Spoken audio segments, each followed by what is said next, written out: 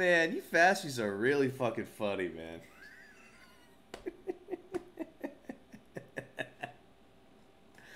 oh Lord, uh, go ahead. Tell me how Trump won the election in 2020.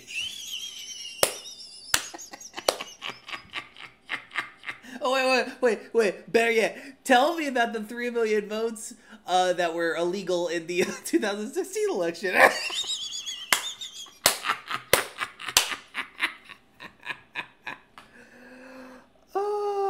oh man, Jesus.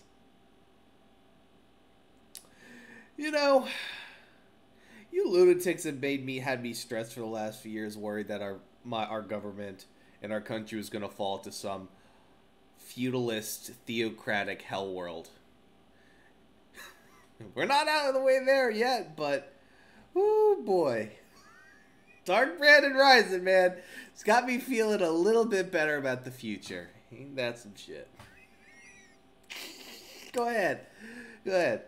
Tell me about how all of the elites are lizards and every Democrat is a socialist and a pedophile.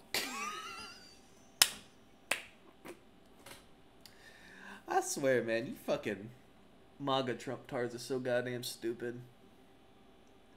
At least gives me some faith in humanity that uh, at least the liberals are waking up to realizing that, oh, these morons are actually dangerous. Weaponized stupidity actually can have consequences. ah, die mad, you fucking fascies.